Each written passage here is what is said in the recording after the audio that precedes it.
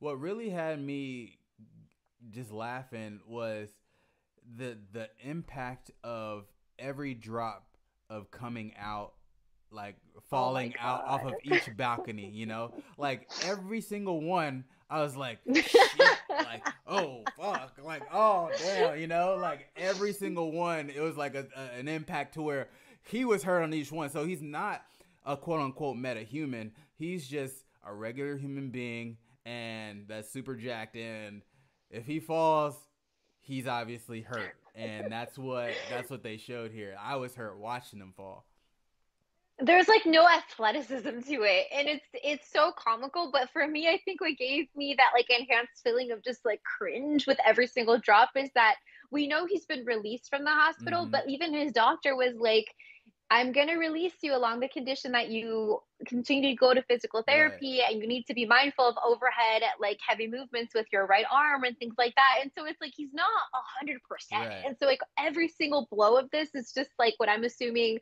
uh, you know, irritating injuries that are not a hundred percent healed, mm-hmm. even like you know.